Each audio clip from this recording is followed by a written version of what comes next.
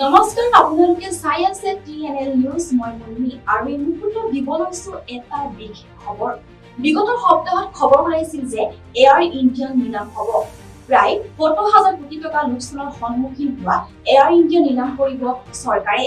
সাতটা দশক চৰকাৰী ব্যৱস্থাপনাত চলি থকা এয়াৰ ইণ্ডিয়াৰ নিলামৰ জৰিয়তে ওঠৰ হাজাৰ কোটি টকা সংগ্ৰহ কৰিলে চৰকাৰে। ভাঙি পৰা দেশৰ অৰ্থনীতিক উদ্ধাৰ কৰিবলৈ এয়াৰ ইণ্ডিয়াৰ জৰিয়তে সংগ্ৰহ কৰা ওঠৰ হাজাৰ কোটি টকা যথেষ্ট নহয়।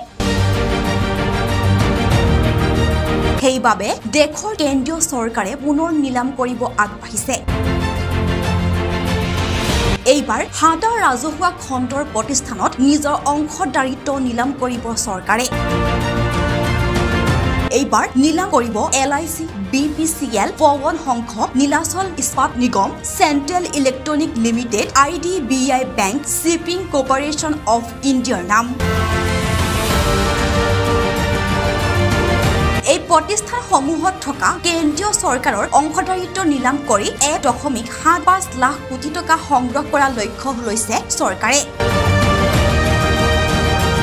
চলিত বিত্তীয় বৰ্ষ অৰ্থাৎ দুহেজাৰ বাইছৰ মাৰ্চ মাহৰ পূৰ্বে এই প্ৰতিষ্ঠানসমূহ নিলাম কৰাৰ পৰিকল্পনা লৈছে চৰকাৰে। এই কথা ঘোষণা কৰিছে কেন্দ্ৰীয় চৰকাৰ নিৱেশ আৰু ৰাজহুৱা সম্প্ৰতি প্ৰবন্ধক তহিন কান্ত পাণ্ডে। উল্লেখযোগ্য যে চলিত বিত্তীয় বৰ্ষত কেন্দ্ৰীয় চৰকাৰে Axis bank N M D C আৰু সুদ কোট থকা নিজৰ অংশদাৰিত্ব নিলামৰ জৰিয়তে আঠ হাজাৰ তিনিশ ঊনসত্তৰ কোটি টকা আৰু এয়াৰ ইণ্ডিয়া নিলামৰ জৰিয়তে ওঠৰ হাজাৰ কোটি টকা সংগ্ৰহ কৰিছে। সৰ্বমুঠ ছাব্বিছ হাজাৰ তিনিশ ঊনসত্তৰ কোটি নিলামৰ জৰিয়তে সংগ্ৰহ কৰিছে চৰকাৰে।